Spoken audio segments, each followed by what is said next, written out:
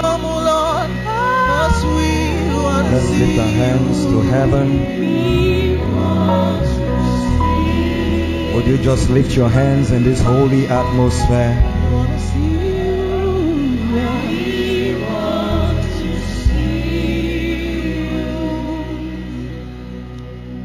Holy, holy,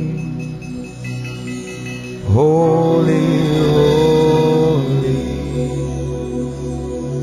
holy, holy. Lift your hands, Lord God Almighty. As we lift our hands before you as a token of our love. Holy, holy,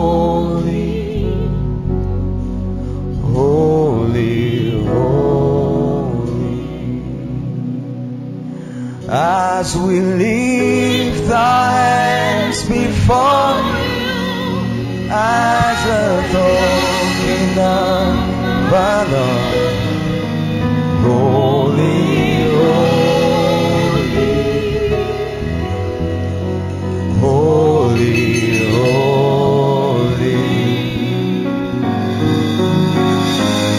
Let the lifting of our hands touch your heart. Please just lift your hands in reverence to Him. Let the lifting of our songs reach your heart. Our worship sing, our worship touch your heart. My devotion, my devotion touch your heart. Touch your heart. So let the lifting of our hands, let the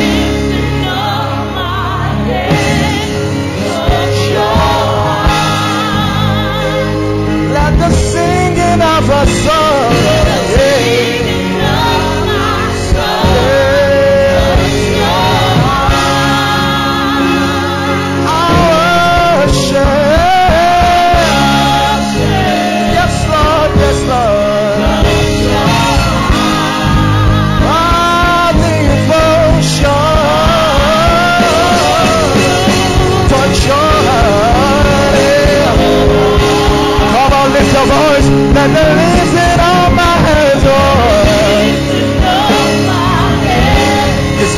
very simple.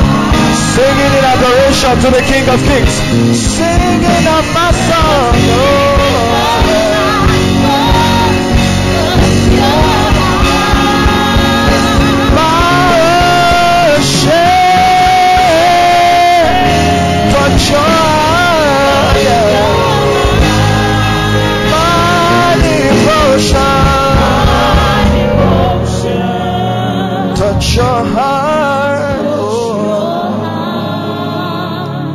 You can, just lift your voice and pray in other tongues right now. If you can, just lift your voice. Pray in the language of the Spirit. Just raise a sound to Him. Just raise a sound to Him. He wants to hear you.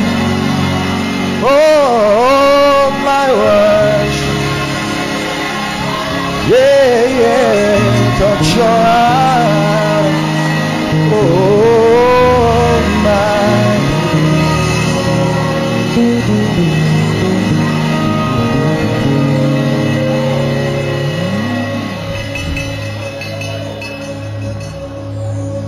Yes, go ahead. Just pray in the spirit if you can for two minutes. Where's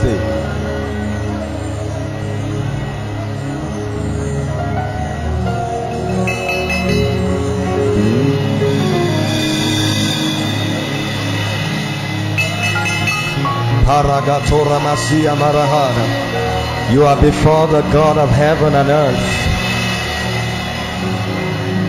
You are in the presence of the King of Kings. Lift your voice, raise your voice, pray in the Spirit. Something is happening in your inside. Something is shifting in this place.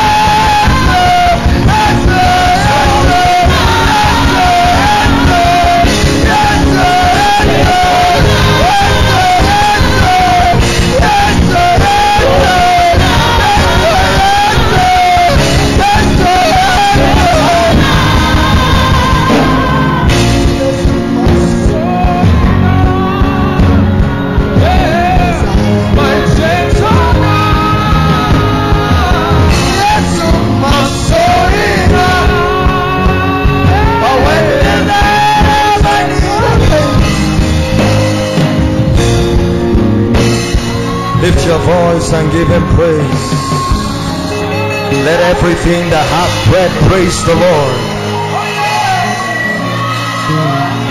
With all that is within you, praise his holy name. Bless the Lord, O oh my soul, and all that is within me. Bless his holy name.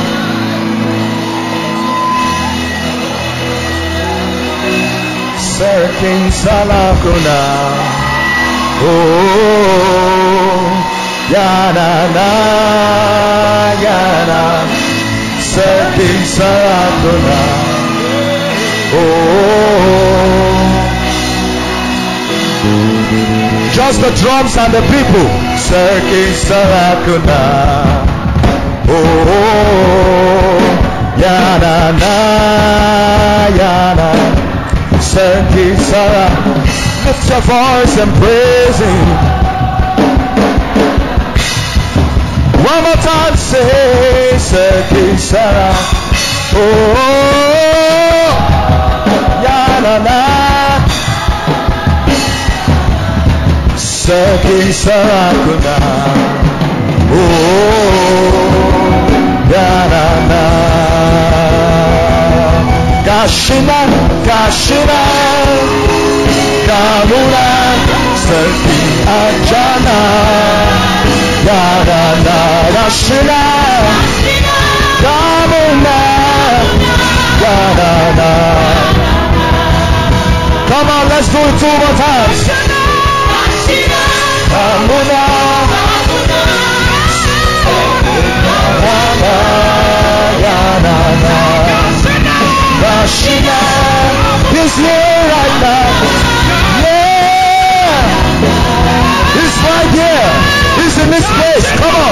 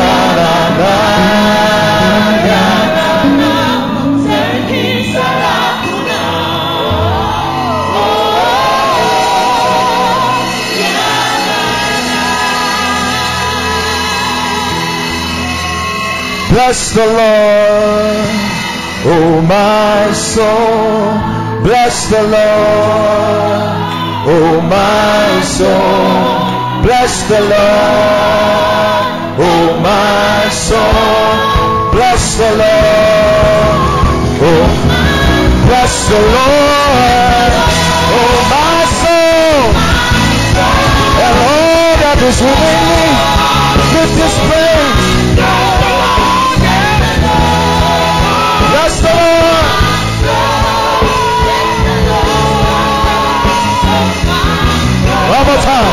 Bless the Lord. Oh, bless the Lord. Sing forth His praises. Oh, yeah. Hey.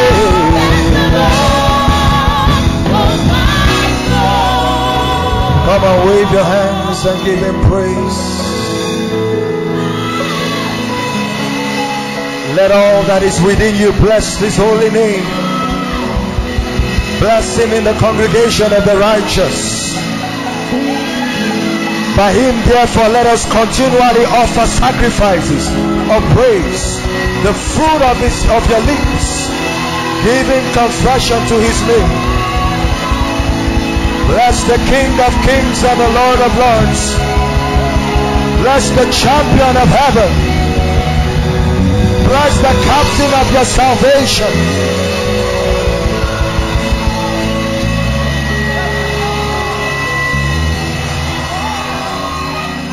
The champion of the whole stable and the captain of my destiny. In you alone I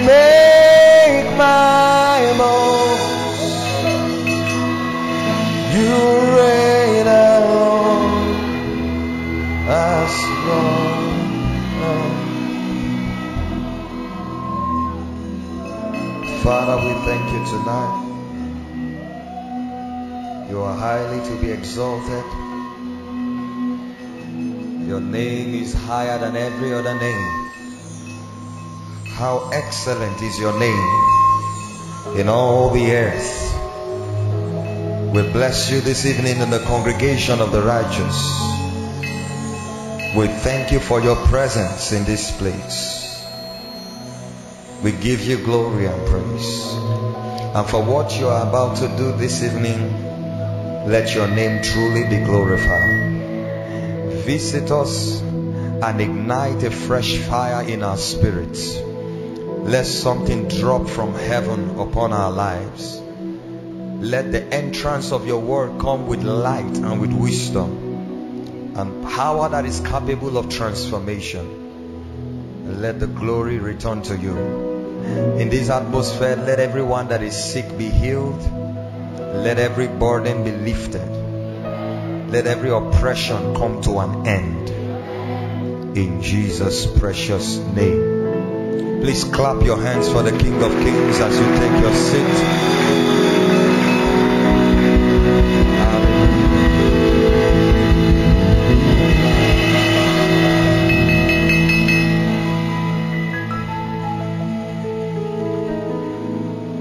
Hallelujah. Somebody shout hallelujah. Amen. Are we set tonight? Tonight is going to be a night of revival. It's going to be a night of empowerment. Something will be activated in someone's destiny. I said something will be activated in someone's destiny.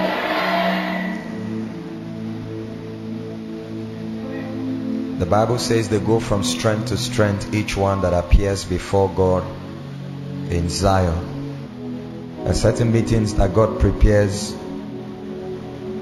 and you know that it's a divine visitation for His people. And tonight will be one of such meetings in Jesus' name. Luke chapter 18, verse 1. Tonight we are going to spend more time to pray. And I believe in the power of prayer. I believe in what the Lord is doing in our midst. And I believe that every major advancement in the kingdom, every dimensional and every notable shift that must happen in the life of an individual as far as the kingdom is concerned cannot escape the route of prayers. And as we pray tonight, I believe that something will break up from heaven and fall upon our lives and give us an edge as far as our advancement in life and destiny is concerned. And the name of the Lord be glorified in Jesus' name. Luke chapter 18, verse 1.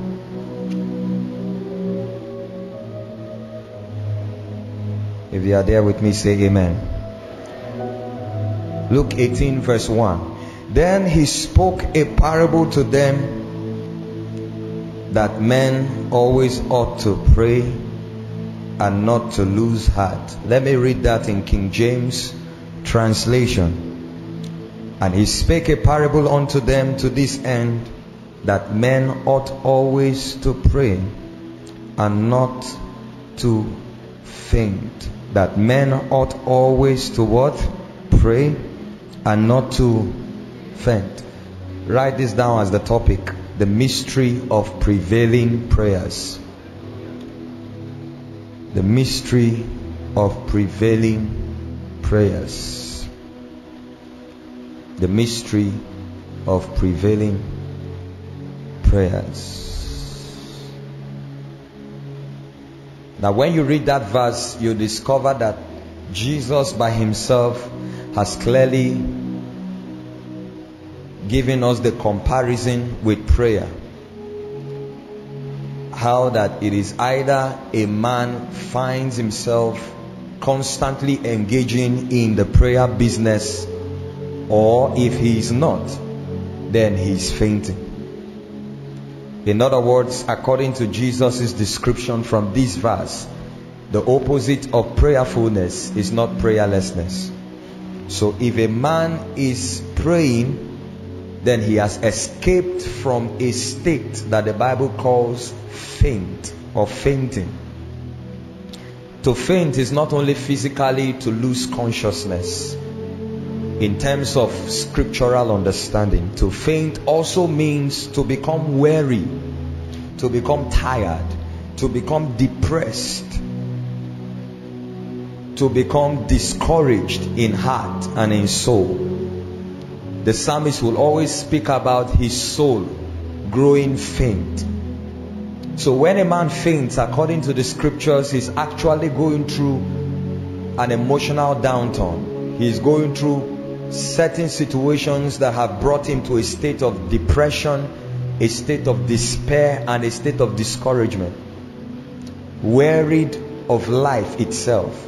That's actually a suicidal state. That's a suicidal state.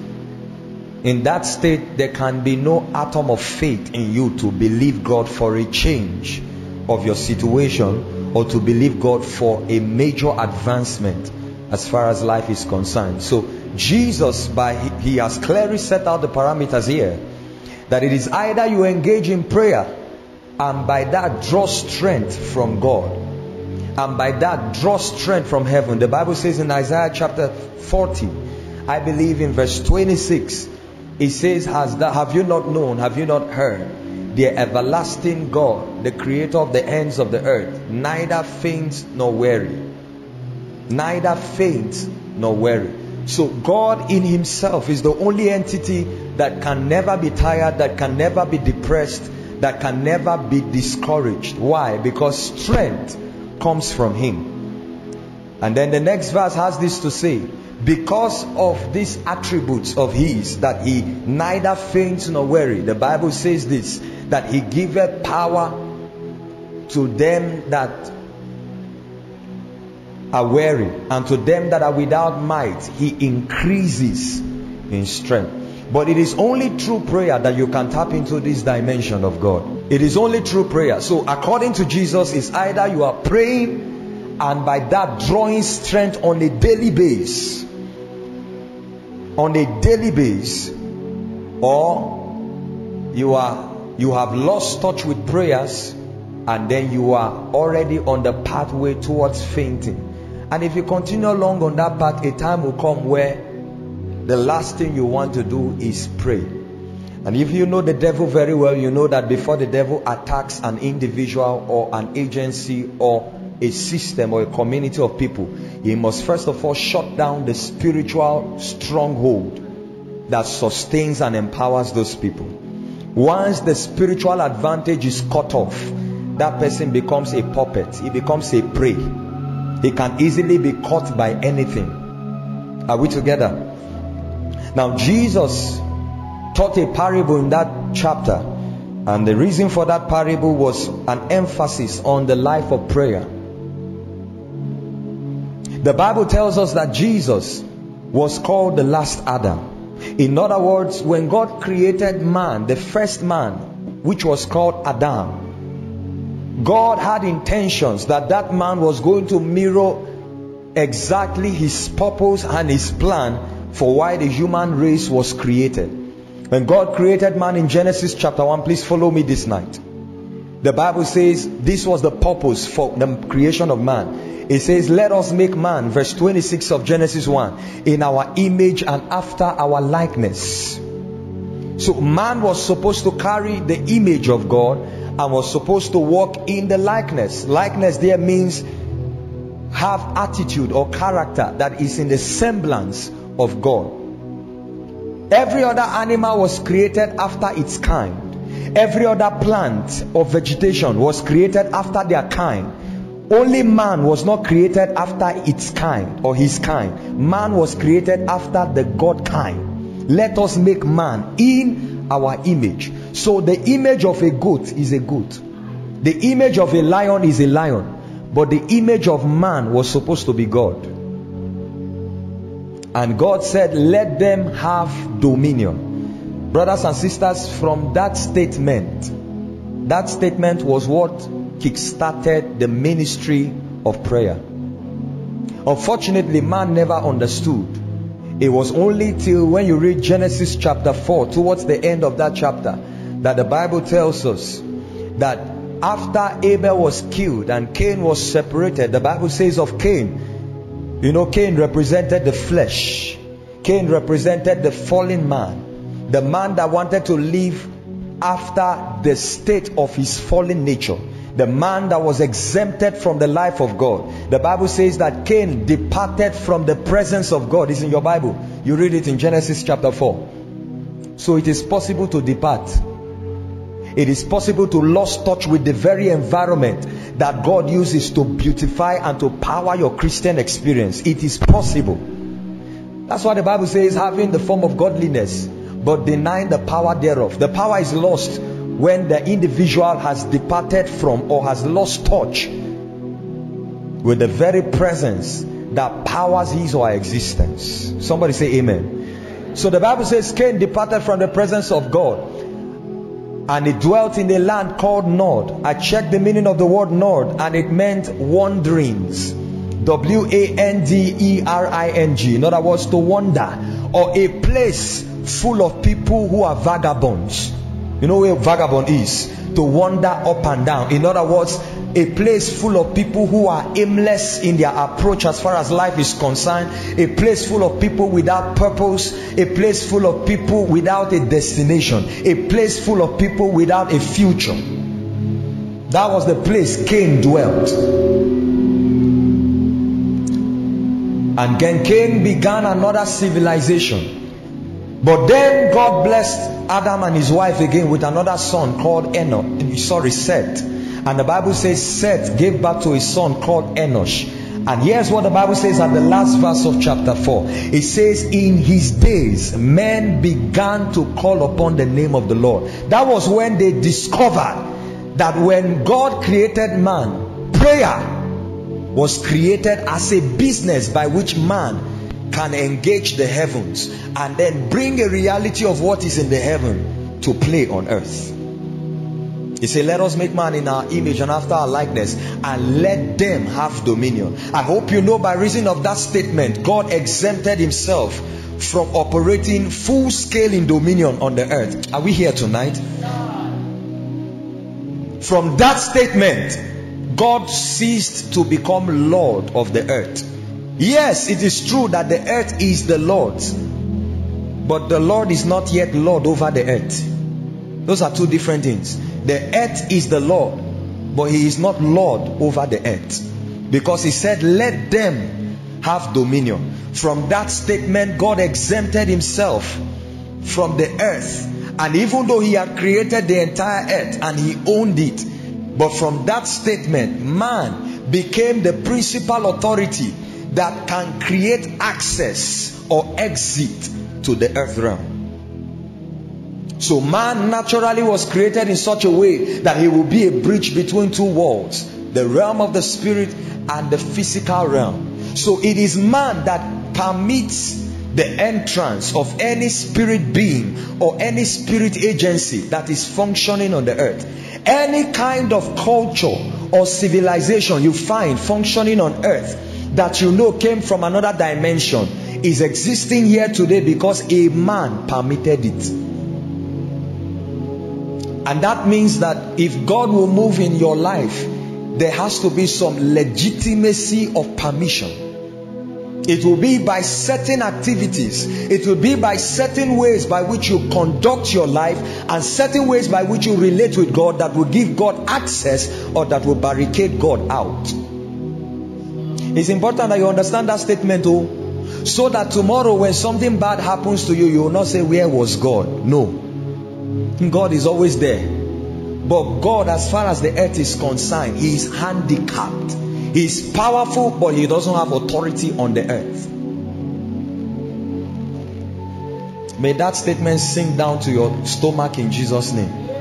Oh, yes. Because a lot of people have blamed God for many things. Say, why do bad things happen to good people? Say, where was God when my mother died? Where was God when this happened to me? God was there, but there was no means to permit Him to intervene. Aside from what we call the sovereign will of God, and I will show you tonight that even the sovereign will of God can sometimes be bent or be compromised by man. It is high time we wash our minds from that mentality, particularly those of us in northern Nigeria. You know, there's a statement, I don't know how to say it, but there's a Hausa statement that says, you know, let it be according to God's way. I don't know. Who knows how to say it? If you know how to say it, that's, that means that's how your life is, though.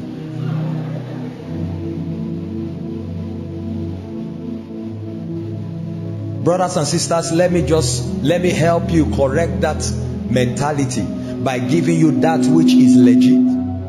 The truth is, as far as this life is concerned, God has little or nothing to do with whatever happens in your life again. Because everything about you was created and designed and captured in His books before you were made. He said, Before you were formed, I knew you and before I, I, ordained you a prophet to the nations. So your destiny has been finished as far as God is concerned. Now it will take partnership, it will take participation, it will take a deliberate interaction with that which was finished concerning you for it to become a living reality. God has no hand. Many of the things we blame God for. I came here, I'm not defending God, I'm just here to tell you that God had no hand in many things that happened to us. It was either as a case of ignorance or carelessness or sin or weakness, most of all, ignorance. The Bible says they know not, neither do they understand. And they walk in darkness. The darkness there is ignorance. That a man can be made a God, that a man can be made a prince, but as a prince who should ride on the horse, he's trekking on the foot. That's not God's that's not God's intention. So, from what God said in Genesis, we see that from that point, prayer was legitimized. And when Jesus came on the earth, Jesus came first of all not just to die, Jesus came first of all to model for us the life of a man in its most perfect state as God created him. Because the first Adam failed. I hope you know. The first Adam did not do the job well by mirroring to us the full potentials that the man created by God should exhibit. The first Adam didn't walk in dominion mandate at all. The only thing he ever did was give names, and that was all. When Satan came into the garden, he was supposed to shut out that spirit, but he didn't. And so when Jesus came on this earth, there is a reason why he had to be born and grow up as a man. The Bible says, Unto us a child is born, and unto us a son is given. Jesus would just have appeared like Adam, a full grown man, walk up to the cross and died. If it was only salvation he came to achieve. But God needed to show us the perfect example of a man. And so Jesus had to be born and then grew like us. The Bible says he was in all ways and in all faults tempted as we are, yet without sin. To show us that a man created in the image of God had the power to conquer and overcome sin. Jesus walked in his ministry for three and a half years, empowered fully by the Holy Ghost, and we saw all that he could do to show us that man will live the best of his potentials and walk fully in destiny when he learns to partner with his God kind, which is the Holy Spirit. And in all that Jesus modeled, one of the things he showed us was that without prayer, it is impossible for a man to fully exist as far as God's plan is concerned. He said that men ought always to pray and not to faint. Hebrews chapter 5, verses 7. I want to read a scripture there for us. Jesus was a man of prayer all through his life. If you read the gospel according to Luke, the, uh, of, of St. Luke, I believe that is the gospel that contained in details the prayer life of Jesus. Almost every chapter, one chapter after another, you will see the business of prayer. And it was in that chapter, in, in, that book, I beg your pardon, in chapter 22, that the Bible tells us how he prayed in the garden. He was in agony and he prayed, even just to go and die on the cross. The Bible says he had to pray. That means that for you to fulfill God's divine mandate for your life, it cannot be fulfilled outside of the business or the ministry of prayer. Prayer helps to generate the energy that is needed for the prosecution of your destiny part time. The Bible says he prayed till his sweat became as drop of blood. How was it possible that in that cold, I hope you know, it was in the Middle East, and the geographical location of the Middle East, those of you who know that place very well, is, is a desert region, hot during the day and cold at night. And Jesus at this time was on a mountain. And you, if those of you that have climbed a mountain before or a hill before, you know that it's cooler up there. Yet, with all the cold, the Bible says he was sweating blood. What kind of prayer was that? What did he need to achieve? As the Son of God, didn't he have the power to just do and undo? What was needed to be achieved at that spot that he had to pray that long? Because if we know that, you will now know why there are certain posture of prayers. If you don't learn to learn to come into or learn to exhibit, there are certain results you will not see, oh, brothers and sisters. If you are here, say amen.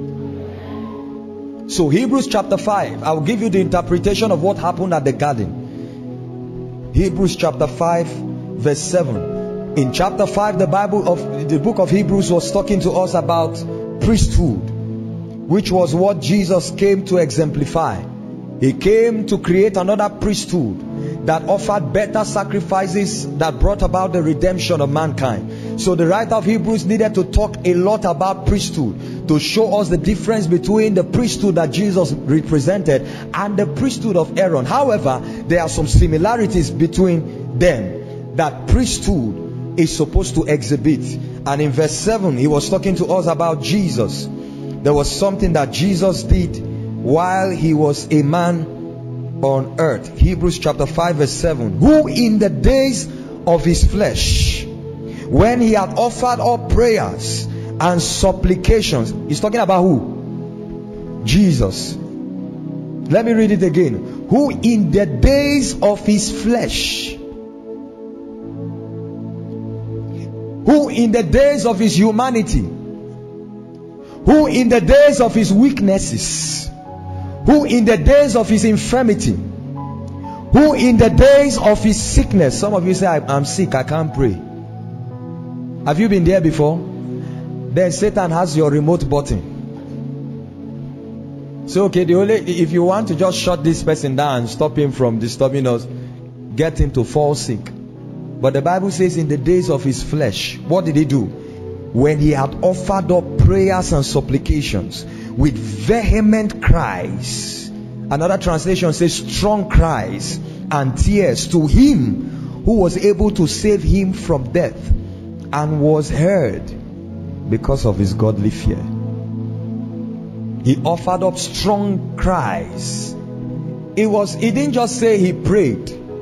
He showed us the dimension of prayer that he entered into and I'm going to show you this evening two powerful dimensions of prayer. If you want to birth a new season in your life, if you want to obtain supernatural results, if you want to uh, obtain exponential or accelerated breakthroughs, there are certain kinds of prayers you must pray. There are certain kinds of prayers you must pray.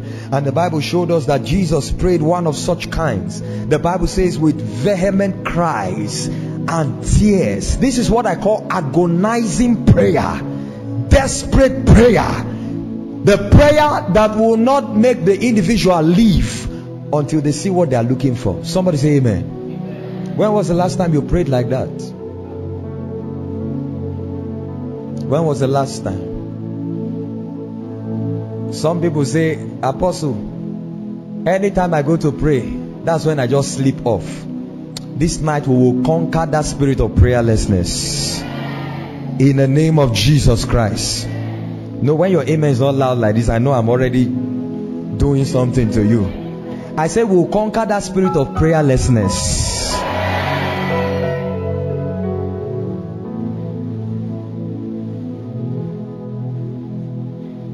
Jesus taught us how to pray in Matthew chapter 6, verses 9 to 10. It is interesting that the Sermon on the Mount that Jesus gave from chapter 5 of Matthew to chapter 7, one of the things that he talked about, oh, there were three things he spoke about that were necessary for a believer's walk in the kingdom. He spoke about fasting, he spoke about giving, he spoke about prayer. And in Matthew chapter 6, verse 9 to 10, he taught us to pray, Our Father in heaven, hallowed be your name. Verse 10 says, Your kingdom come. Your kingdom come. Your kingdom come. From the day that statement was made, we were signed up into a life of warfare. Please listen carefully to me. Because kingdom speaks about territory and governance. Kingdom speaks about influence and dominion. And there cannot be territorial influence, territorial advancement, territorial occupation until there is contention. If two kings are at war, the purpose for that war is that one will conquer the other in order that certain benefits will be retrieved, one of which is territorial influence. That the king that conquered will gain dominion and influence over the territory of the other. So when Jesus made mention of this as the way we should pray, thy kingdom come. That as far as we are alive, we must keep praying. We must make sure we are constantly on the push and the press to see that the kingdom of God is advanced on earth, that the kingdom of God is established on earth. Then it means that we are at war. The Bible says in Colossians chapter 1 verse 13, who had brought us out of the power of darkness and translated us into the kingdom of his dear son. You know why? Because if he had brought us out of the power of darkness and left us like that and didn't bring us under the dominion of a kingdom, tendencies are that we will be drawn right back into captivity. Because it's a battle between two kingdoms. And brothers and sisters, I don't mean to get you scared, but I mean to just tell you the truth tonight. That I have discovered that one third of the life of a Christian is warfare. Tell your neighbor warfare. Okay, see the way you tell you told them. Hit your neighbor on the elbow and say warfare, warfare. He said, Apostle, how did you get that? Second Timothy chapter 4, verse 6. What did he say? I have fought a good fight. Is that what he says? I have what? Finished the race and I have kept the faith. In my opinion, that is those are three dimensions by which destiny is fulfilled. I have fought a good fight. And I fought till I finished. And in my finishing, there was something I, I kept. You know, the Bible says he will say, well done, thou good and faithful. So, one out of the three is what? To fight. The same Timothy, but first now, chapter 6, in verse 12, he says, Fight the good fight of faith. It's good, but it is still fight. Brothers and sisters, destiny cannot be, never be prosecuted without battles, without contentions, without resistance there must be some forceful engagement. Just sitting down and saying, according to the oh enosonga bakaradia gratela. I called a high government official one time in the military, very high individual. And I told him, I said, I saw this is what the Lord showed me concerning your family. And I want you to pray for three days with your family. Pray and avert accidents, death, declare preservation. And the instruction was to take communion with the prayers. Is there anything wrong in that instruction? What was the reply I got? He said, oh, Well, you know, man, you know the way big people talk. He said, Well, you know, man of God, all my life has been by faith. I live by faith. And this is his definition of faith. I just allow God. I don't want to fight. I don't have strength to do anything. Let God just fight for me. If death wants to come, let it just come. It means it's my time. Somebody say, God forbid. The Bible say faith is a substance of things hoped for? That means if it is faith, there is an action that corresponds that it is faith. Pray and advert it when I heard that one, I said, Oh, I made a mistake. No wonder it took me 14, almost 14 days to deliver the message. I said, Well, I've delivered my message. I wash my hand. Tomorrow, if anything happens, don't come back and tell me to raise any dead. I don't have strength for that.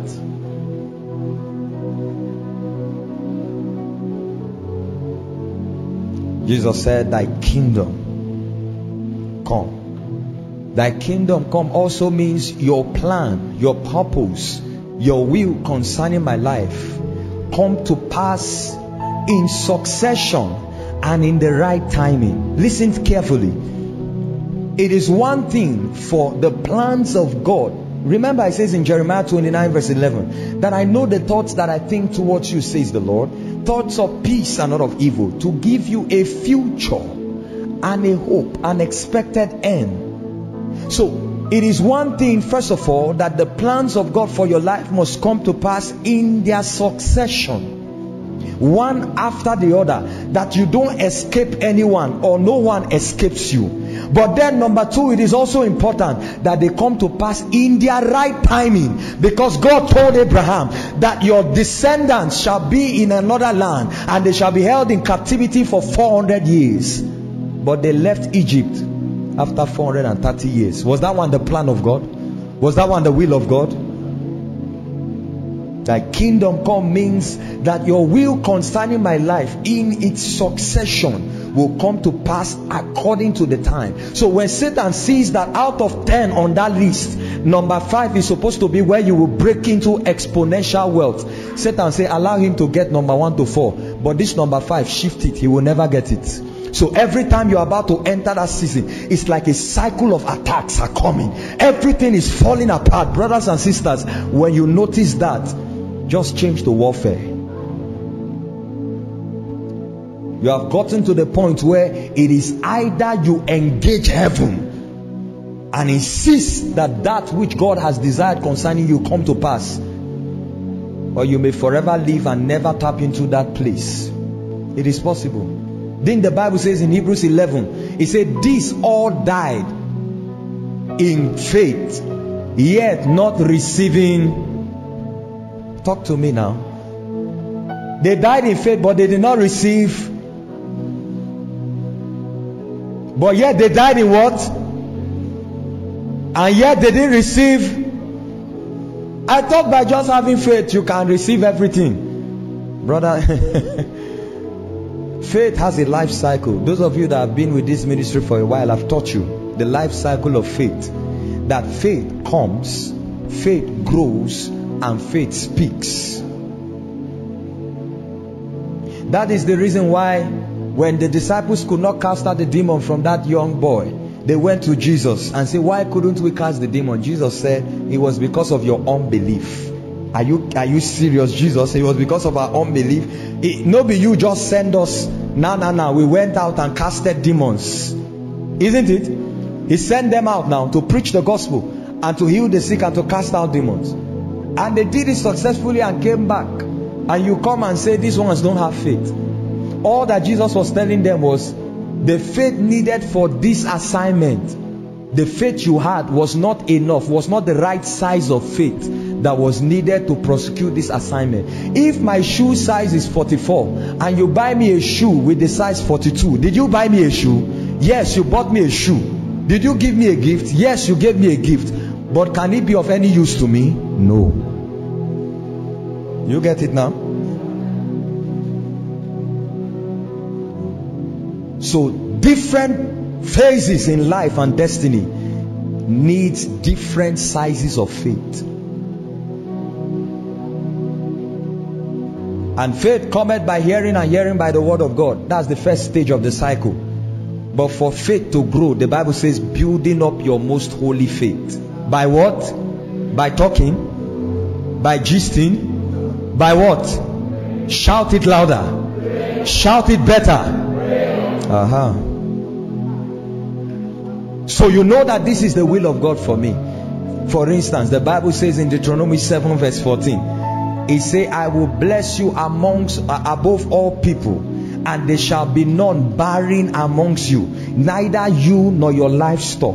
And this is a woman looking for children. It is now written, she has seen it in the word, that God said, Neither you nor your cattle shall be barren. I have fowl that are bearing children. How come fowls don't have fibroid? How come goats don't have fibroid? Under all kinds of difficult conditions, dogs and goats they give birth. Why is it the human being that is well taken care of that has fibroid? So, yes, the word of God says this provision is available for me, but for it to be accessible, your faith will need to switch to the next dimension. And that's where prayer comes in. When you begin to pray, what prayer does is prayer begins to expand that word and make it an image, a living reality. That word, when it came to you, it came to you in a seed form. And you, God does not want to bless you with seed. He giveth seed to the sower and bread to the eater. You can't give seed to the eater. For it to make sense to the eater, it must be planted, harvested, processed, and then it becomes bread. So just because you saw it in the word of God or just because it came to you by prophecy or the Holy Spirit spoke to you, that word is still in a seed form. It is not enough to produce result. It's prayer that will now begin to bring out the potentials of that seed and turn it to become the harvest of that which you which you are looking for. You pray to a point where it becomes a living reality inside of you that yes, he, though Jesus was rich, but for your sake he became poor, that through his poverty you might become rich, that God is able to make all grace abound towards you, so that you having in abundance, and that word as you pray, that word abundance begins to enlarge in your heart until a time comes where it is difficult for you to think that there is lack. It is at that point that you enter into the fullness of that which God has promised you. That is the reason why many people pray and don't see results. Are you hearing me this evening? They just think, oh, God said it. I believed it. That settles it. Yes, in heaven, but not on earth. Because if it was supposed to, you, see, scripture is not mathematics. Don't use logic. If A plus B is equals to C, then this man, no, no, no, no, no, no, no. That's not the, that, no, no. Faith has its own logic. Are you hearing what I'm saying? That's the reason why that prophecy that came to you five years ago, as though it will happen the next year, up till now, it has not come to pass. It's not the prophet that lied. There's something wrong with your faith. You have not understood how to engage it, how to metamorphose it from a prophecy to a reality. First Timothy 1 verse 18 says, This charge I command you, Timothy, of all the prophecies that have gone concerning you, that with them you might war a good warfare. Why do I need to pray if God has already spoken? Because God spoke from his realm. In the realm that God lives, there are no impossibilities. Are you hearing what I'm saying? There is no sickness in heaven. There is no lack in heaven. There is so much wealth in heaven that the streets of heaven is paved with gold. Gold. That's why God laughs at stingy people. And just in case you don't know, I came to tell you, it's true. That God laughs at what? Because He's always holding to Himself. Say, I don't know when I will get another one again. So man, hold this hundred thousand. So he starts spending it. Just the way they cut meat.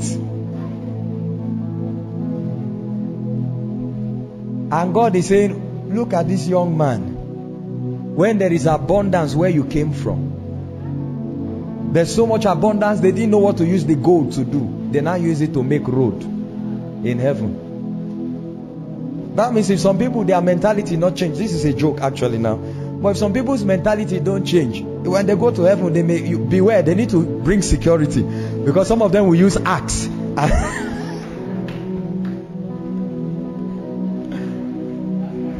so all the poverty that hit me in earth, it's time for. but you serve a God that is more than that has more than enough.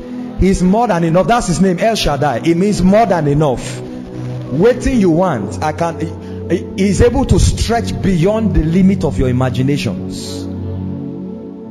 El Shaddai. It means multi-breasted one. So it's like one puppy trying to suck milk.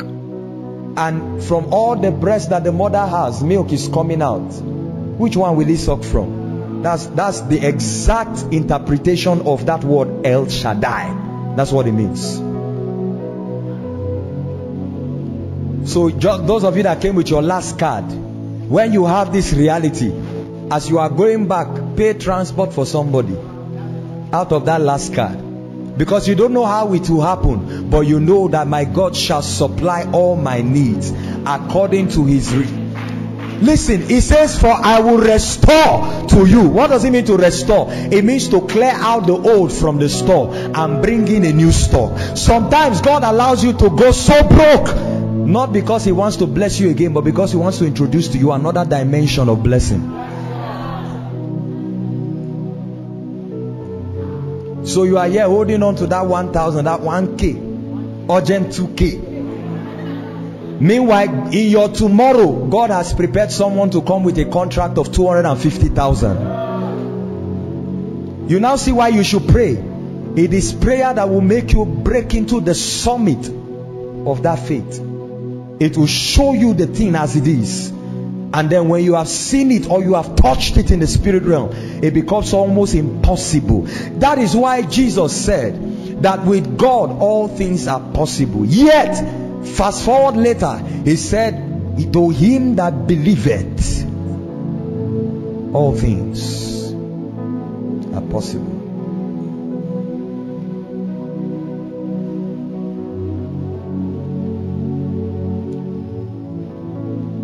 Let me give you an example of men. Men in scripture that knew how to tap into the place, the power, and the mystery of prayers.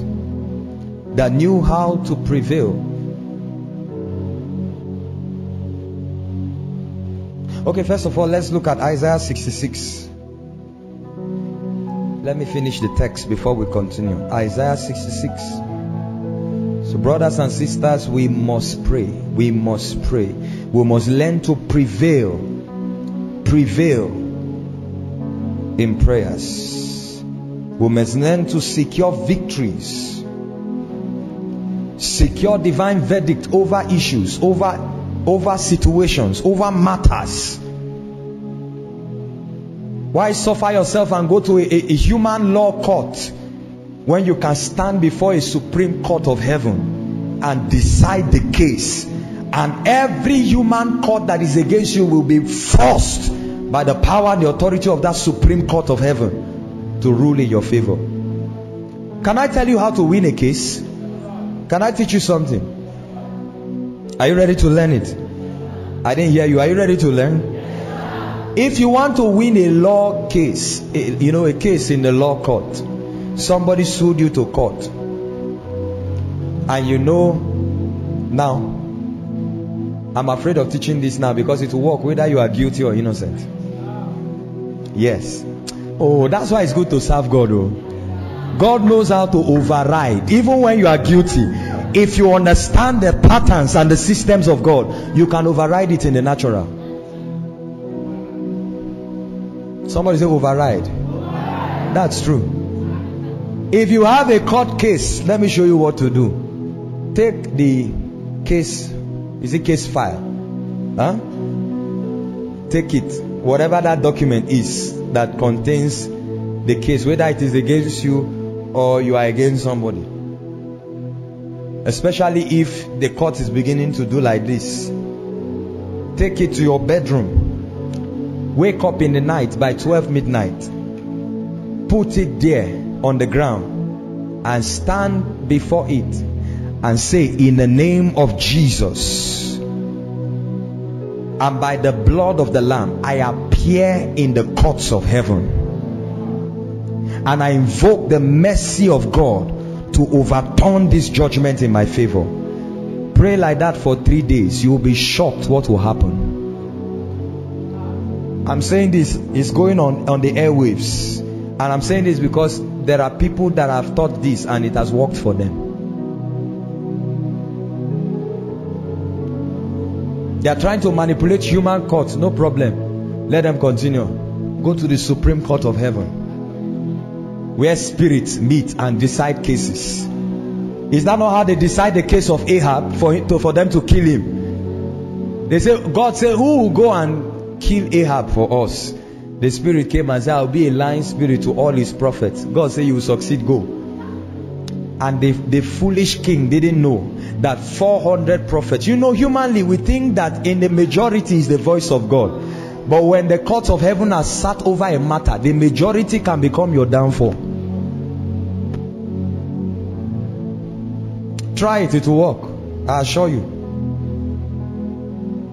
I assure you. I wish I had time to teach you more today. What to do with your CV when you are looking for a job. There's no time. There's no time today. Alabakranda subra. I, I wonder, I wonder, listen, listen, because of the things that I've seen in God, I wonder why people give up so easily. I wonder. Ask our workers and our leaders, they will tell you, those of them that are very close to me, they know that you don't mention impossibility before me. When there's a task to do, I'll sit on your head until it is done. Because before I gave you that task, I saw it done already. And there's no way what I saw will now will now be countered by your. Isaiah 66 verse 8 and 9. Who has heard such a thing? Who has seen such things? Shall the earth be made to give birth in one day? He's asking a question. Is it possible for the earth to bring forth in one day? It, you know that you have to plant corn and wait for three or four months for it to harvest, depending on how blessed or how cursed the land is. It's true. depending on how blessed or how cursed the land is. Now he's asking a question Is it possible that in one day you can plant and receive the harvest? Or shall a nation be born at once? In other words, shall the deliverance of a nation come in one day after 60 and plus years of captivity? Look at Nigeria, for example. You know, they call us the giant of Africa. It is true, but it is not true. It is true because giant of Africa there means that you have individual personalities from this country that have achieved or, or that have attained global achievement. So they stand out as giants, but the nation itself is languishing in impoverishment. Not be so? Why are you quiet now? Not so now.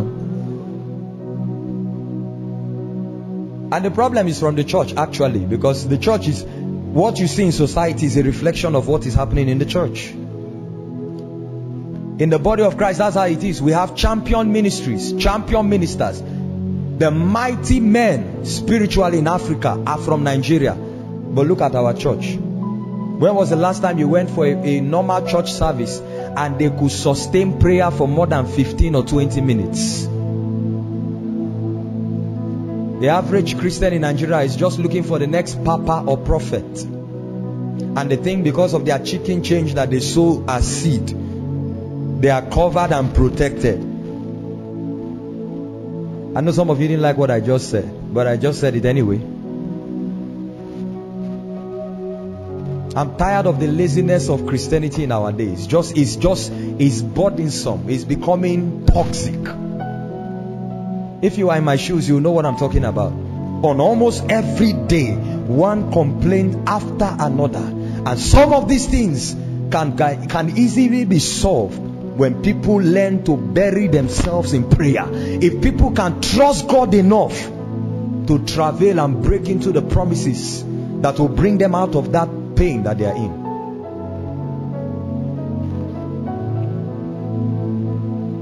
He says, Shall a nation be born at once? For as soon as Zion was in labor, she gave birth to her children. King James said, For as soon as Zion travailed, is that not so? Talk to me, is that not so? As soon as Zion travailed, in other words, it is possible for a deliverance to come in one day. It is possible for a long awaited, delayed harvest to come in one minute. It is possible. The only way out is as soon as Zion travailed. That means there is a dimension of prayer that Zion has to engage if they must see this kind of extraordinary result. You have not broken into exponential wealth yet. You have not broken into that dimension of God that says He daily loaded you with benefit. You know why? Because you have not sustained prayer victories enough. Every point you are in life is only a summit or a result of how much victories you have attained in God through prayers. Write that hashtag. Believe me. So when next you say this is impossible for me, this is a yoke for me, this is a burden for me, someone else that has travailed enough to turn that that mountain to become a stepping stone will look at you and say what you are calling a burden is actually a stepping stone to another dimension. That means that limitations are personalized. They are not generalized. And if you are hearing that, it means that the limitations of your father must not be your limitation. The limitations of your mother's house must not be your limitation. You can come out of obscurity and push your way into limelight. All of you have divine destinies in God. It is the one that decides to arise and champion the cause with God that will enter into it.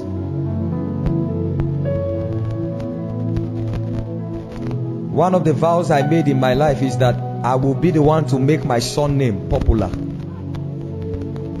Because I realized God did not give any man small destiny.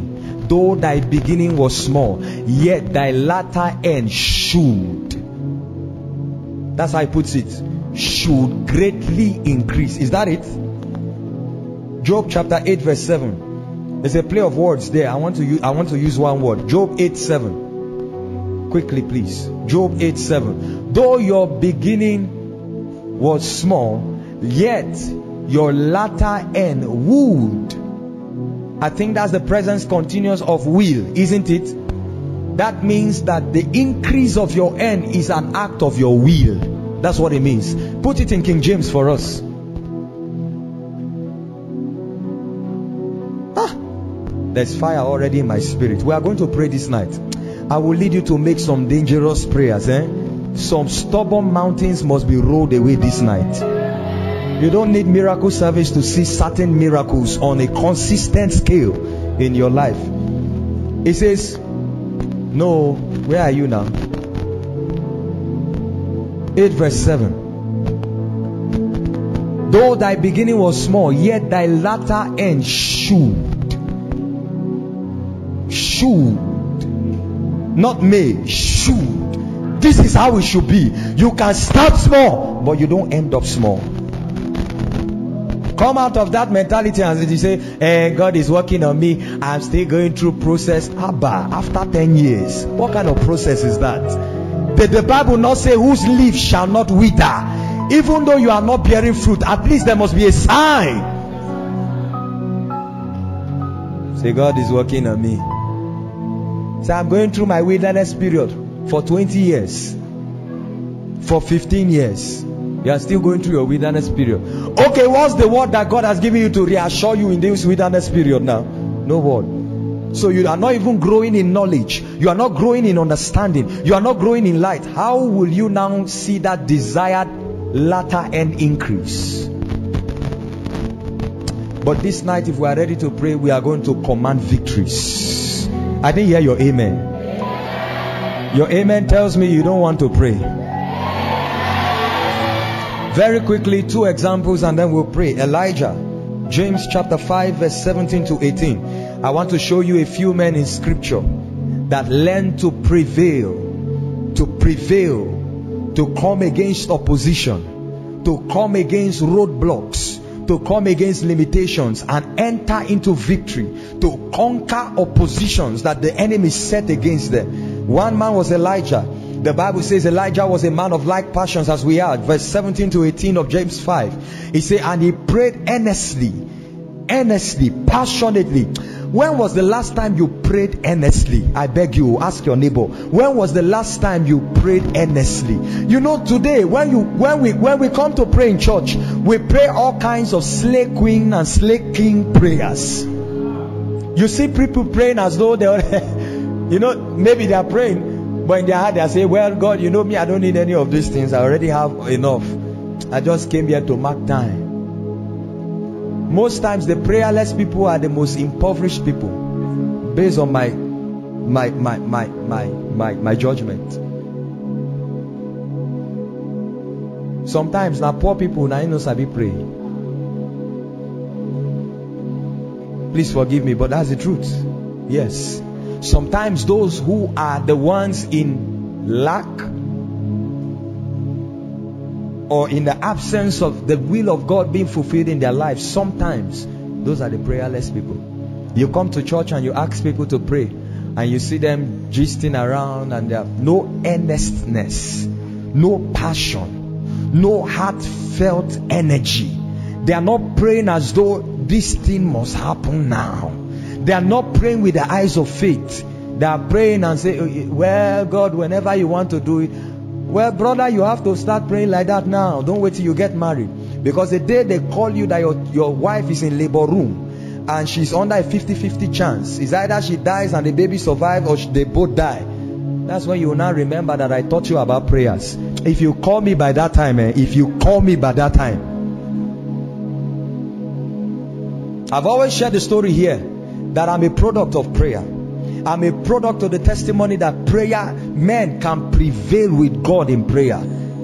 Five years of age, I was struck with deafness and dumbness and insanity by witchcraft. Somebody say witchcraft. Hmm, witchcraft is real, oh, let me tell you. I know where you come from. Oh, your, your, your grandfather was the one that started EYN church in your locality. I, I understand. He was one that planted, he gave land for them to plant. So all his children were baptized by the, the, the priest. And then you are the second generation or the third generation. I understand. But with that, brothers and sisters, witchcraft is real. So real that many of the people have seen with the eyes of the spirit that are under the oppression of witchcraft don't know that they are under the oppression of witchcraft. Many of them. You wait and let's start ministering. You see them manifest as though they plan to come and manifest. No, you think about it. Somebody dressed up nice in the hostel, rub pancake on their head, put foundation, uh, uh, whatever. They came to slay only to find themselves being slain. Now, that just tells you, listen, that just tells you that the individual didn't even know and Satan is so wicked that he doesn't mind transgenerational bondage. That's why he says, But I will contend with him that contends with you, and I will save your children. This night, somebody will pray and break open a door of victory and breakthroughs for even your children and your children's children. In the name of Jesus Christ. Bible says Elijah prayed earnestly that there should be no rain. And he prayed again, and rain came. When you read First Kings chapter 18, verse 1 to 2, God told Elijah, He said, Show yourself to Ahab, and I will send rain. That was the instruction. But he showed himself to Ahab, and nothing happened. From verse 31, you read to down to verse 38. He offered the sacrifice. He even sold water. Listen carefully now. Listen carefully. Because I want to show you that even sometimes seed is not enough to open certain doors. Listen carefully. Elijah even sowed a seed for rain to come. How? When he was offering his own sacrifice, he told them to pour water on the sacrifice. I hope you know that by this time it was three and a half years that there was no rain or dew in the land. So water was a scarce commodity. In fact, the king and Obadiah were in search of water and grasses. They had gone round the entire nation looking for water because all the water sources are dried up. So, in that water was a scarce commodity, Elijah still sold water because he was looking for rain. He poured water the first time on the sacrifice, the second time, the third time. The Bible says the water soaked everything and even filled up the trench. The word trench there, the Bible says it could hold up four seers or three seers of seed. Seed, seed, seed, seed, seed. That means Elijah, that action was a, an exchange, a spiritual transaction for the rain that God had promised to come. Somebody didn't catch what I said. No, I tell you, many people didn't catch what I just said. Even with that, rain didn't come. Elijah had to go and pray. Don't deceive yourself and think if I sow a seed, that's enough. No. Sometimes the power of your seed is on the strength of your priesthood. By faith, Abel offered a more excellent what? Sacrifice. Sometimes it's not seed alone. Sometimes you need to combine it. He told Cornelius, Your prayer and alms giving has gone up to God. Those are powerful forces you must have in your life. If anything is silent in your life, it should not be your prayer life and your giving life. It's a double edged sword.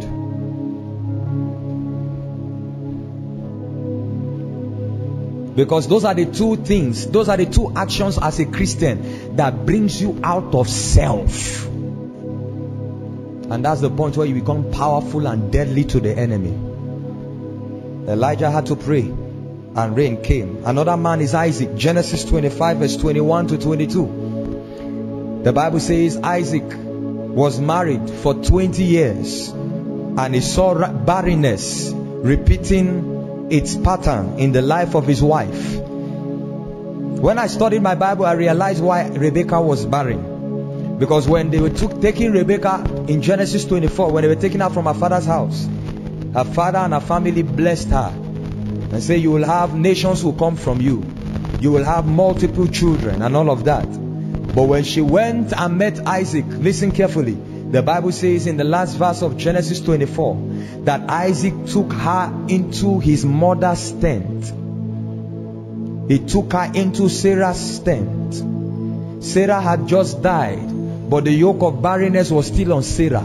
Why do you take your wife a new beginning and connect her to the old? You catch it now, ba? No wonder Rebecca 20 years later became barren. Because she was taken to Sarah's tent. That was where the marriage was consummated. So the spirit of barrenness that was still there. We need spiritual intelligence, let me tell you, as far as life is concerned.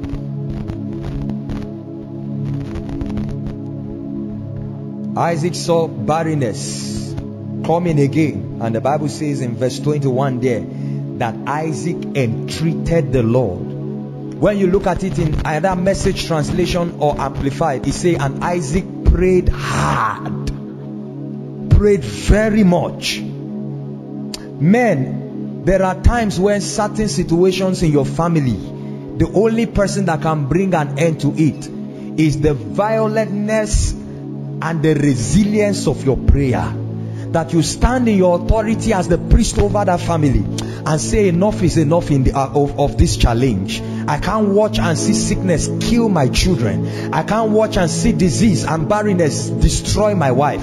I can't watch and see the devil ridicule my family with shame i must arise and do something about it isaac prayed hard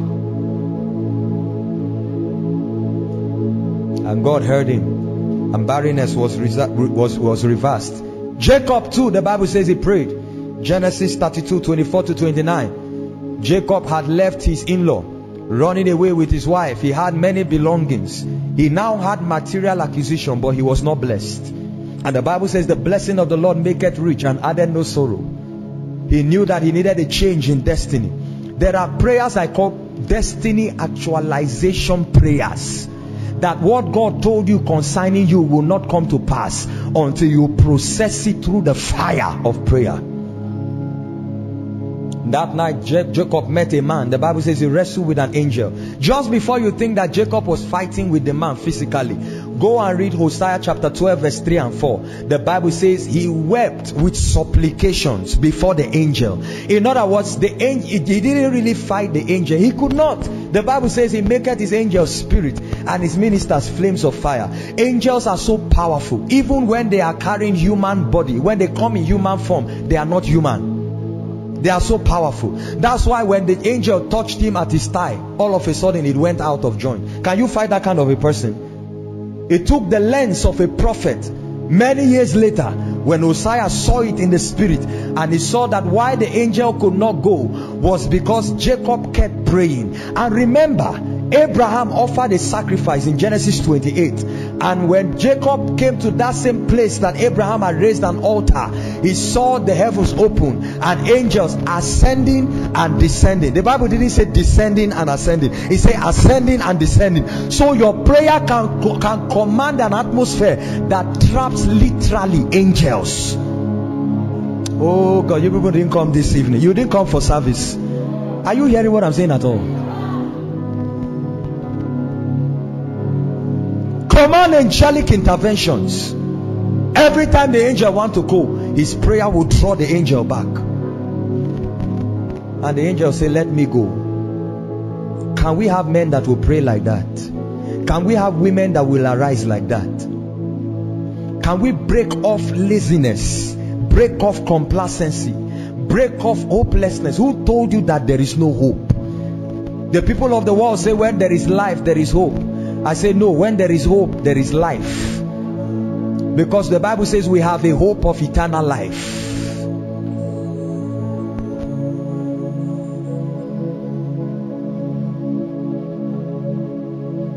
Even when Jesus was going to raise Lazarus from the dead, now I saw two dimensions of prayer that Jesus prayed that he didn't pray any other place. The Bible says in John chapter 11, when he went to raise Lazarus from the dead, when you read in verse 33, the Bible says he groaned in his spirit and he was troubled. That was prayer. He groaned in his spirit.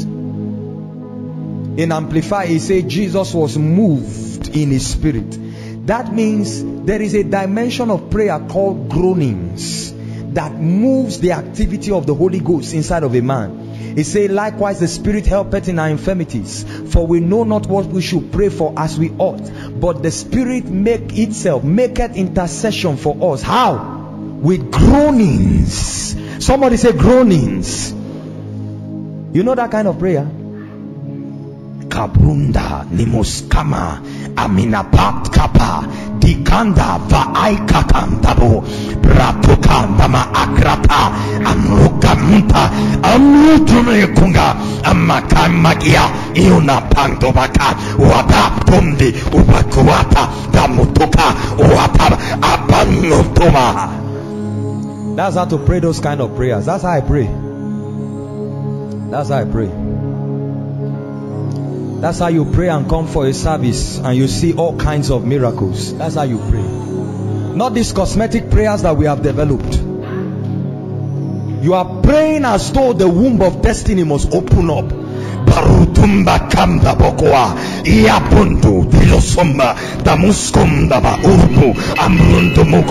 there are times when there are no more tongues again as soon as zion travail she brought forth. You are not praying like that. That's why you are not seeing strange things. Listen god god is not a respecter of persons. What god says to one he can say to all. What god did yesterday he can do today. If those of today can pay the price of the fathers. That's how you pray. Some of you if you come and pray near me eh, in my prayer, you will run away. All this english is here when i'm here it's here we'll do the english I went to preach somewhere recently. I think it was in school. And the time for the administration was just 40 minutes. What do I want to say in 40 minutes? And you know, in that 40 minutes, they want you to. Well, I understood maybe they had too many program and all of that. But you know, in 40 minutes, they want you to still bring down the heaven and do everything you do. So I decided there was no need to do Bible studies for this kind of ministration.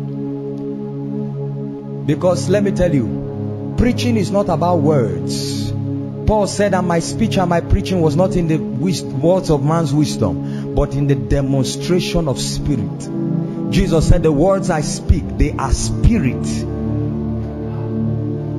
So the best way to minister for 40 minutes and open the heavens over a people is to go and groan for four days. So from day one, day two, day three, shut my door. Many of us need to break distractions. You need to, you need to, there are certain legitimate distractions that you need to come against if destiny must be ahead of you. Groan like that for four days, and we went for the meeting. When I entered there and I just sang a song, the power of God broke out in that place. You were there. Deaf people heard in that service. No preaching. 15, about 15 or 20 people gave their life to Christ. The power of God broke out. Deliverances. No preaching.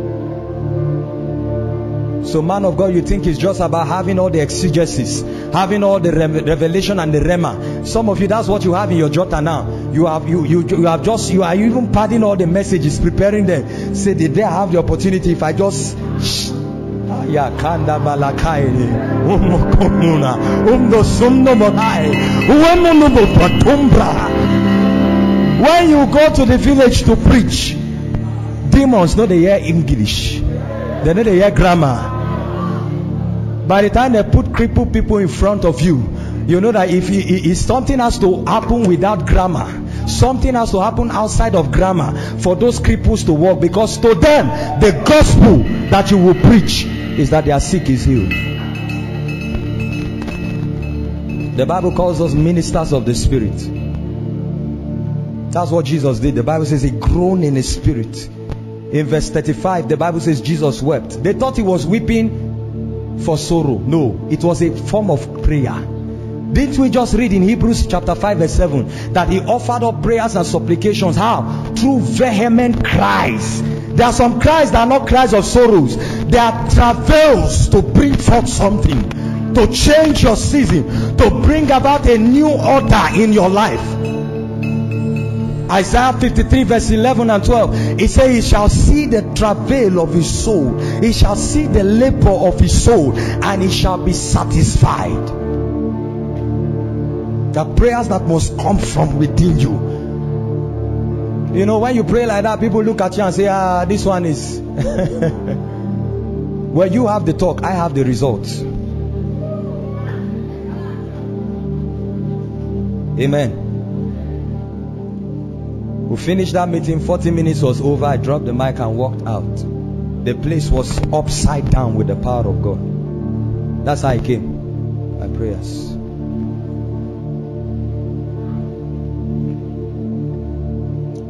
That's why you see when Jesus got to the grave of Lazarus in verse 41, the Bible says, verse 38, the Bible says he still groaned. Verse 41, when he got to the grave of Lazarus, he had prayed and achieved victory. He had already seen that Lazarus will come out.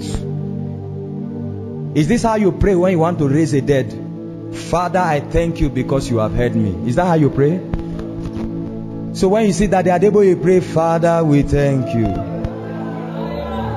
You now think that when you pray like that, because Daddy G.O. prayed like that, na lie you, na lie you, na lie. Forget what you see on TV. Something has gone on in the secret. They have prayed so much, there is no voice again. So even if they cough, miracles will happen. Because when you conclude it in the spirit, the disciples came to Jesus. They said, Lord, even the demons were subject to us in your name. Jesus laughed. He said, When you left, I saw Satan fall like lightning. And how do you see? Except by prayer. I will stand upon my watch and set me upon my tower and watch to see what he will say to me. It is in prayer that your senses are activated for you to see what God has done. So when Jesus sent them to cast smaller demons, he engaged the biggest spirit, which was Satan. And when Satan was defeated, those guys went and they were winning anyhow. In life, don't launch out. Even when God has spoken to you, don't launch out until you have secured victory. That's why, even after the baptism, this is my beloved Son in whom I'm well pleased. He went where? To the wilderness to pray. And the Bible says he returned in the power of the Spirit, and his fame spread. What kind of publicity is that? No poster, no handbill. Somebody just showed up, and an entire nation is hearing about him.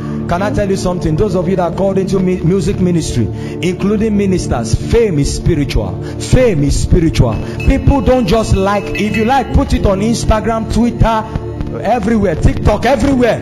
People don't just follow you. There has to be a voice from above on your life. There's, a, there's, there's, a, there's an invisible hand compelling the eyes of men. Somebody called me from Lagos one time through our PR.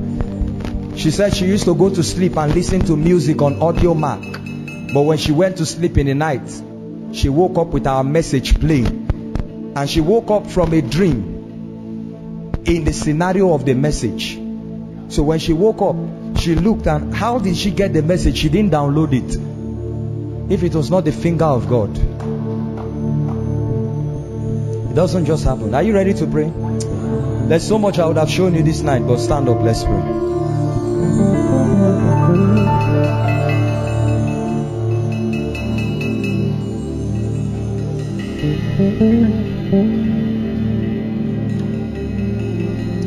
The Bible says Elijah was a man of like passions as we are. Before we pray, let me tell you quickly. Put this at the back of your mind. It will help you in life. Four qualities for an effective and a prevailing prayer life. Number one, righteousness.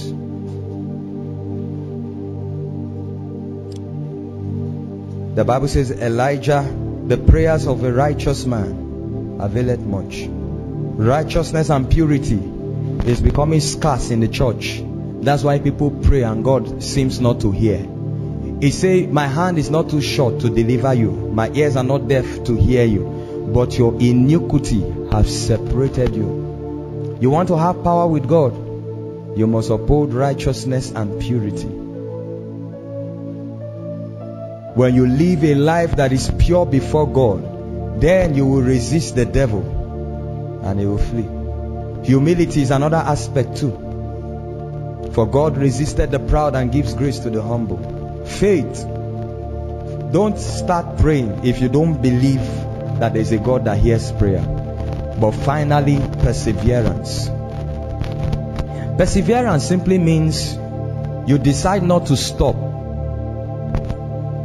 until you get your desired result or until God speaks.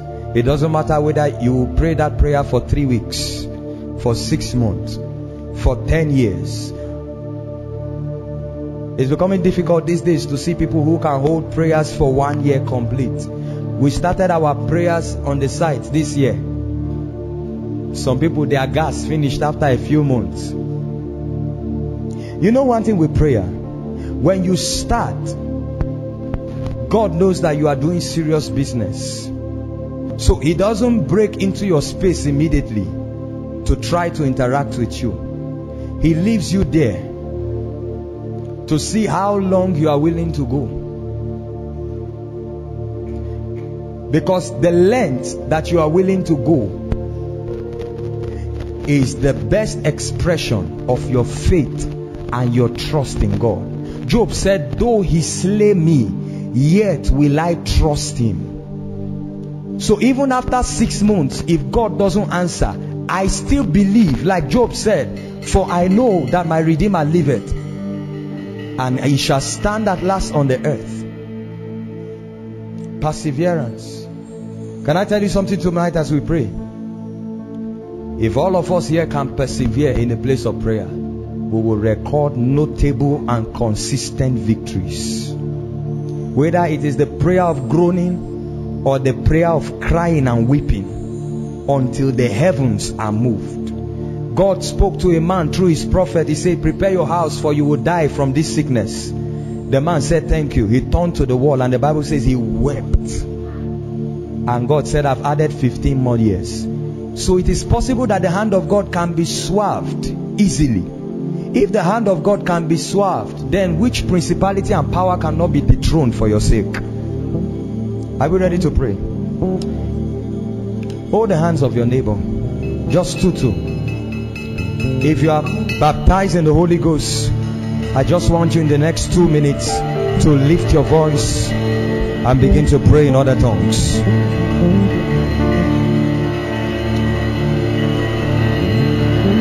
If you are baptized in the Holy Ghost, this is the right time to pray. If you are listening online, find a neighbor and begin to pray. This is that night where something must shift, something must change and break open. This is a night where the door to a new dimension, the door to a new season is about to open. He said, For like a prince, thou hast had power with God and with men, and hast prevailed.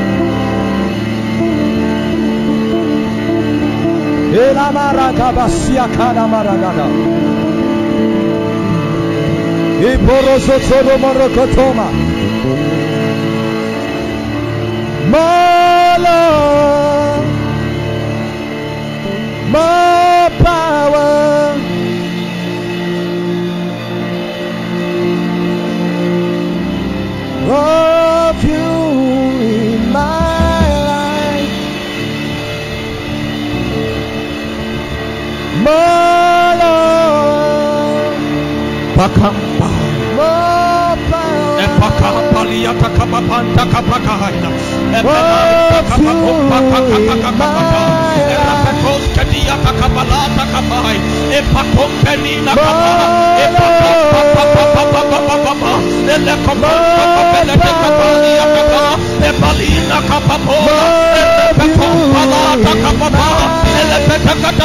Pakai, a Papo Papaya, a Raponta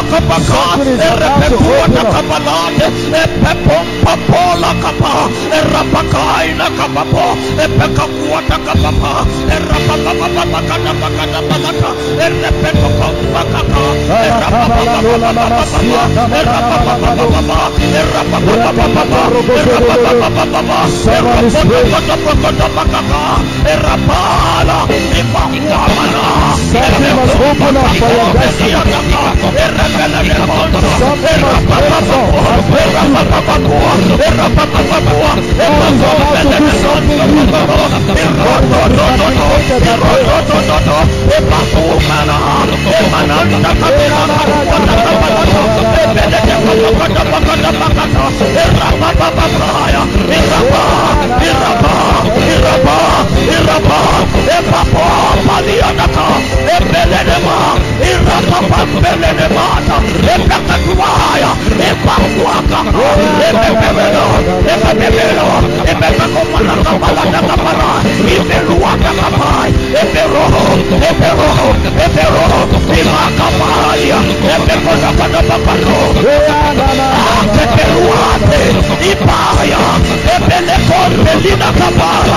Is communicated that way.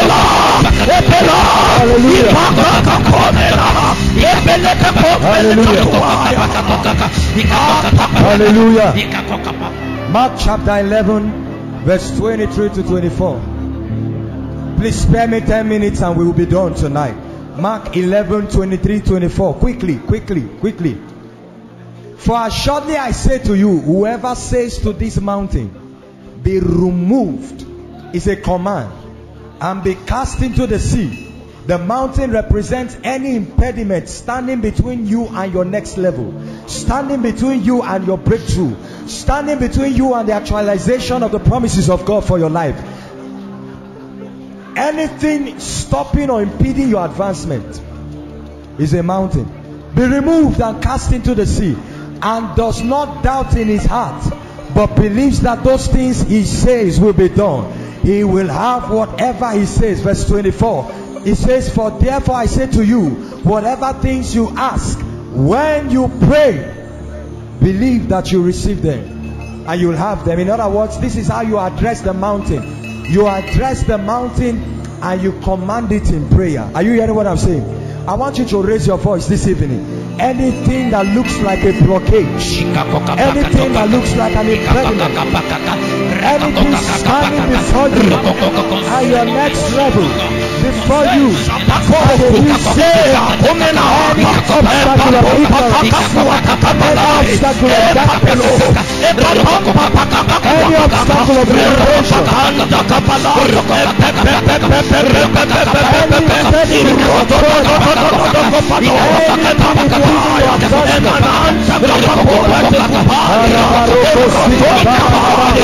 Papa,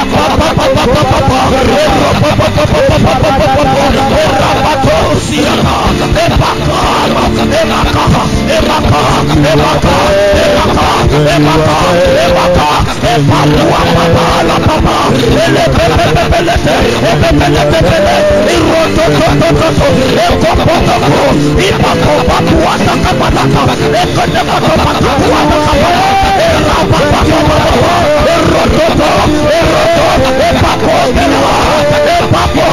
epapo epapo epapo epapo epapua melaya emelele kome imapabela lepeluola kapa lerodoaya epapua tekepalomo ipapo ipapo ipapo epalua melaya epepeperua Epale, Epale, Epalia, Epaya, Kome, Ipakabo, Epapa, Epelekwatakabala, Epakotakapelia, Epepeperua, Epakotela, Epana, Epakapato, Epapapabo, Epapapato, Epatemlia, Epala, Epakuatenako, Epakuatekopale, Ah!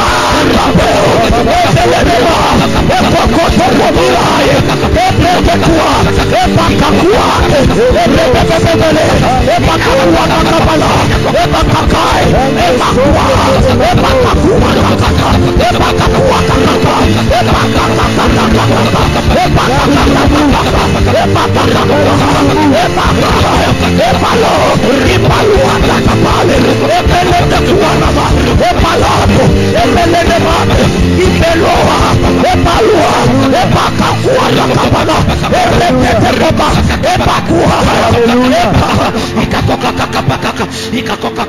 Hallelujah. Don't just pray. I want us to pray with understanding. Ezekiel 21. The Lord is asking me that we should break stubborn demonic cycles in our lives. A cycle is an activity that happens within the frame up of a particular time or season. Any stubborn cycle will be broken this evening. Ezekiel 21, verse 27 in King James. Verse 27 in King James. I will overturn, overturn, overturn it, and it shall be what? No more. I want you to lift your voice. Every stubborn cycle in my life that has that has impeded my advancement that has registered the signature of darkness in my life or in my family. The Bible says, I will overturn, overturn, overturn. Command those cycles to be broken. Command those cycles to be overturned. In the name of Jesus. Lift your voice and pray. Lift your voice and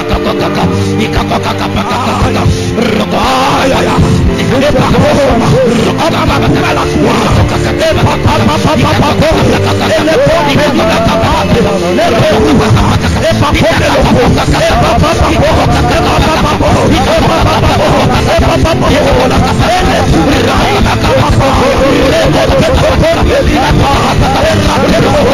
you.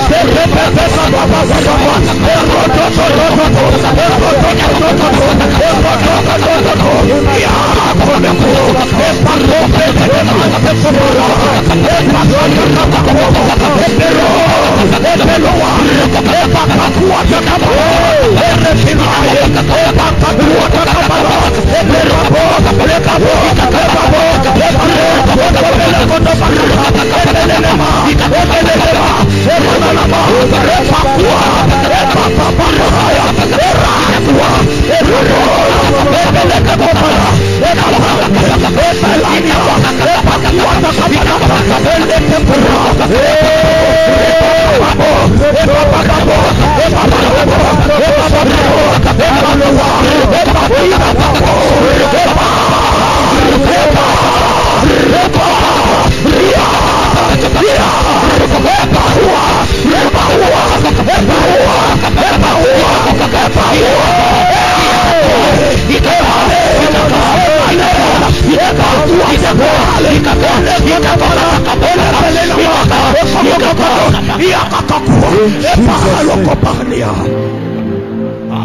Now leave your neighbor.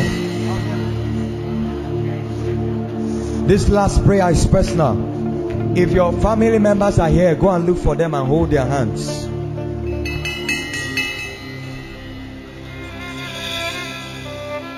Listen, listen. Give us Isaiah 49, verse 24 and 25. Last prayer. I feel that there is an anointing tonight to cancel bloodline patterns, bloodline orchestrations, bloodline satanic attacks. Are we ready to pray here? Please don't be distracted. Protocol. Handle what's outside, please. Isaiah 49, verse 24. Shall the prey be taken from the mighty, or the captives of the righteous be delivered? He said, But thus says the Lord, this is the verdict from God. Even the captives of the mighty shall be taken away, and the prey of the terrible shall be delivered. For I will contend with him who contends with you. Listen carefully. Listen carefully. The captivity in this scripture speaks about, listen, the captivity in this scripture is not because the enemy is more powerful, but it's because he has found a way legitimately to bring people under a yoke. He has looked at an affliction or an iniquity in your bloodline, and on the strength of that iniquity, he has a reason to invoke transgenerational limitations, what you call generational curses and mindset and patterns, and all of those things. The Bible says, I will contend with him that contends with you. You are going to pray. If you are holding the hand of your family members, I want you to pray and screen down your bloodline. Anything that looks like a satanic signature that is trying to find expression. I want you to ask God to arise. Contend with the contender. Contend with the adversary. Let the Shaka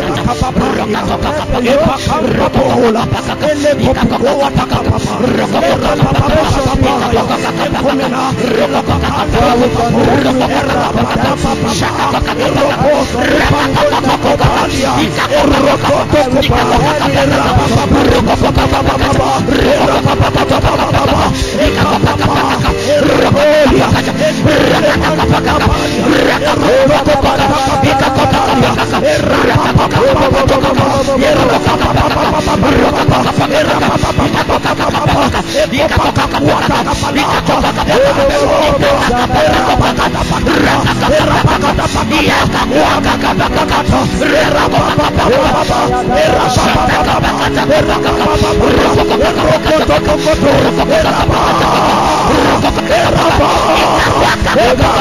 yeah! Yeah!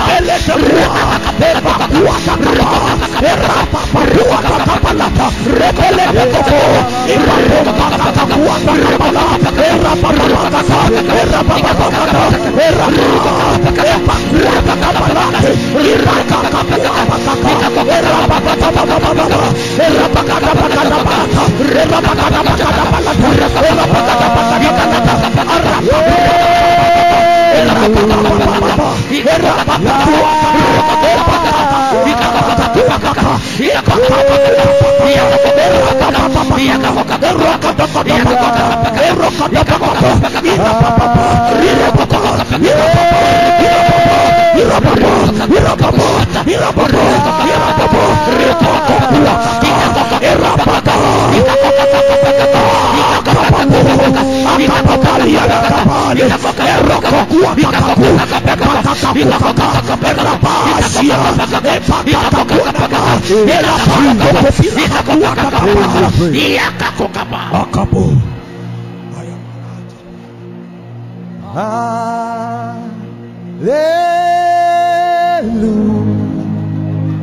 Hallelujah.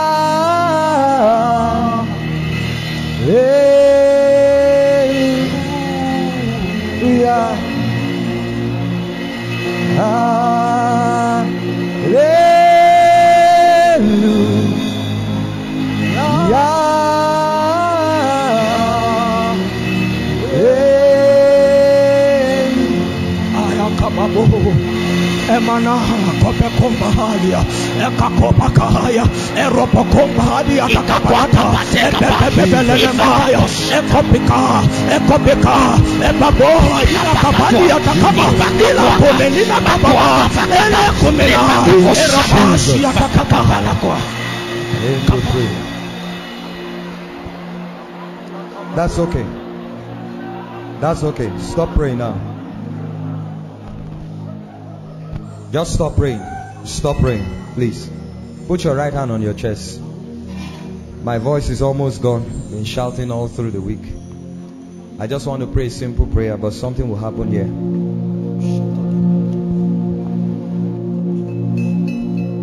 Any bloodline pattern or limitation, anything that is associated with your bloodline that the enemy has used to yoke you or the members of your family or your siblings, it will be arrested now. Just put your right hand on your chest, eyes closed everywhere. Father, I don't have voice again, so please just help me with your power. I raise my right hand in the name of Jesus. Let the right hand of your power be lifted up in this place. And as their right hands are on their chest, anyone that is a victim of transgenerational bondage, transgenerational oppression, demonic patterns in the blood, satanic orchestration in the lineage, whether it came from their grandfather or for their grandmothers, every limitation that the enemy is using as a yoke upon their life, as an impediment on their destiny. Father, as I count to three, let that spirit be arrested. Let that yoke be broken by your power. And let men and women be set free now.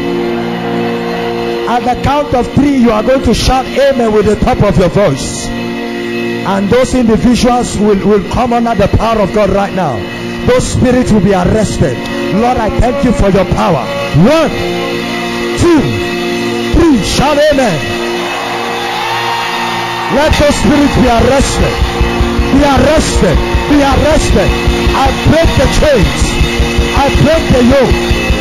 I break that limitation. I break that oppression. I break that oppression now. Be set free now.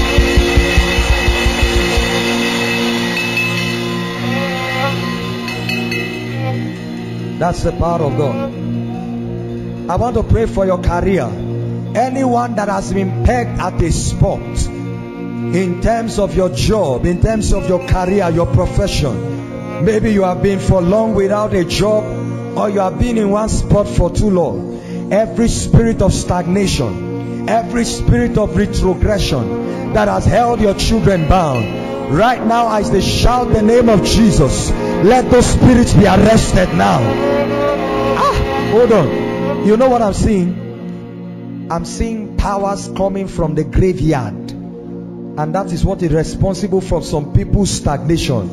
But in the name of He that was raised from the dead, in the name of He that conquered the grave, right now in the name of Jesus, as you shout that shout of Jesus, let the powers of hell be arrested.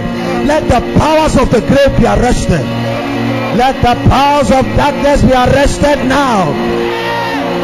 Let stagnation be over now. At the count of three, shout Jesus. One, two, three, shout Jesus. Is arrested now. Is arrested now. Is arrested now. Is arrested now. Stagnation is over. Retrogression is over. Let the chains be broken.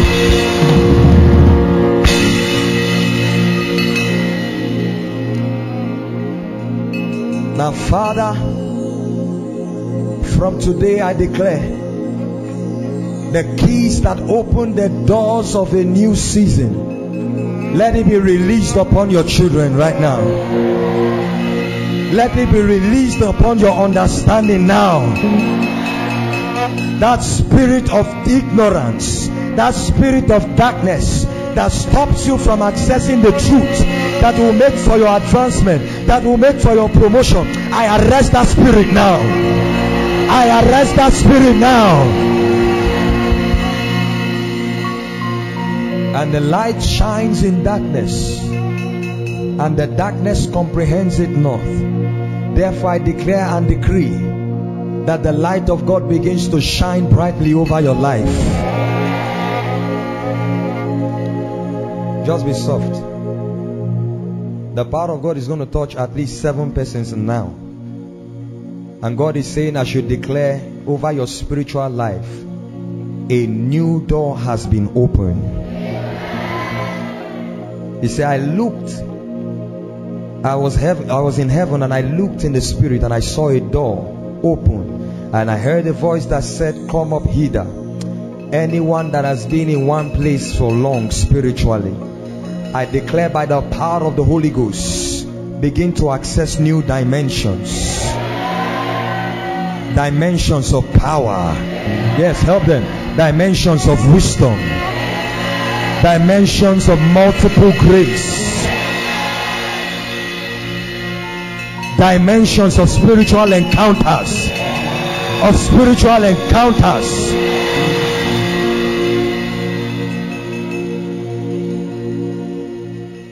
Dimensions of prayers. Prayers that will command uncommon results. Step into that grace right now. I said, step into that grace right now. In the name of Jesus. Father, I declare a new day and a new season has come. I declare tonight your name has been changed from Jacob to Israel. And I declare that every power that has held you forcefully in one spot for long and I refuse to allow you go free, has refused to allow you make advancement. I arrest them right now. I arrest them right now. Yeah, that's it. I feel the power of God just coming now. I arrest them right now. I arrest them right now.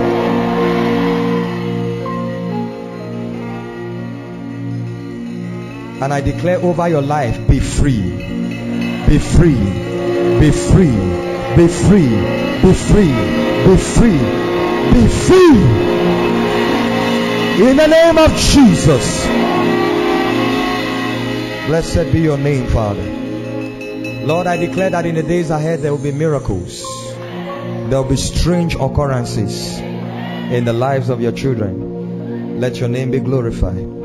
In Jesus' mighty name. Please, while you stand, just wave your hands and give the Lord praise. What a night. Just wave your hands and bless Him. Thank you, Father. Your name be exalted. In Jesus' name we pray. Everybody standing everywhere, no movement. I want to give an opportunity for those who need to accept the Lord Jesus or want to rededicate their lives afresh, unashamedly. I've taught you about the mystery of prevailing prayers and how that by prayers you can have power with God and be victorious on earth. But if you are yet to say yes to Jesus, then that cannot become your reality. Wherever you are, no time to waste. If you are here and you want to surrender to the Lord Jesus, you want to make Him your Lord and Savior, or you want to rededicate your life afresh to Him, you are tired of going through cycles, you are tired of going back again and again, up today, backsliding tomorrow. You want to rededicate your life and serve Him, you want fresh fire upon you in this new phase of your life. Wherever you are, I want you to come to the front quickly and I'll pray with you, all standing everywhere. Let's just honor God for these ones if there are any of such here. And if you are online and you want to make that decision, when we are making the prayers, I want you to repeat after us and believe in your heart that by the confession of your mouth you are saved. If you are here and you want to surrender to Jesus or you want to rededicate your life to Him, please rush to the front quickly, quickly, and let's just get you back to Him. It is the prayer of a righteous man that avails much. God has no pleasure in the prayer of a sinner. It is the prayer of a righteous man. God bless you. Please keep coming. Someone who must join her, please, if you're hearing my voice right now, say yes to him while you can.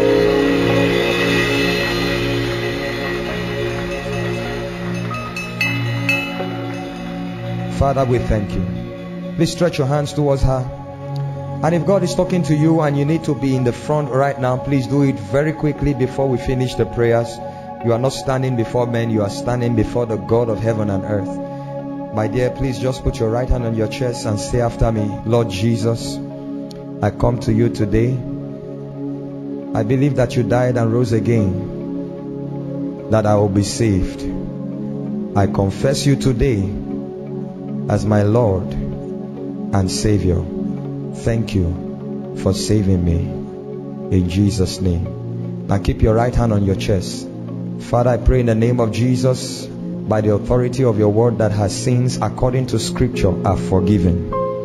I declare from today that her names, her names are erased from the book of death and written in the Lamb's book of life.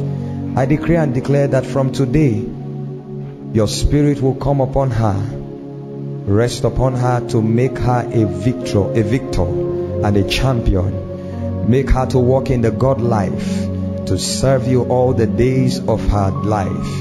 In Jesus' mighty name. Amen and amen. God bless you.